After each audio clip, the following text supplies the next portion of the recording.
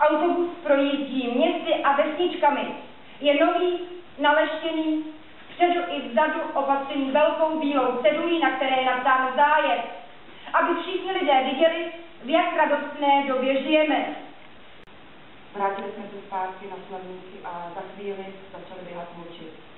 Galony a galony. Naše turistická reakce byla stejná.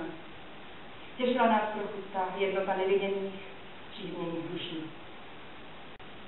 Připravila cibulí, mrtvý proutkem tymiánu, vrátila do toho žejtí smetany a pozvala předsedu i sousedy. Soudruzi chutí poezi, avšak začali brzo hledat Bekovčina muže, dobrého pracovníka. No takže hledali, pátrali a přišel také do stíže, kde byly police plné láhví značky Deka. Žebírko, bůček v těch baňacích plečko,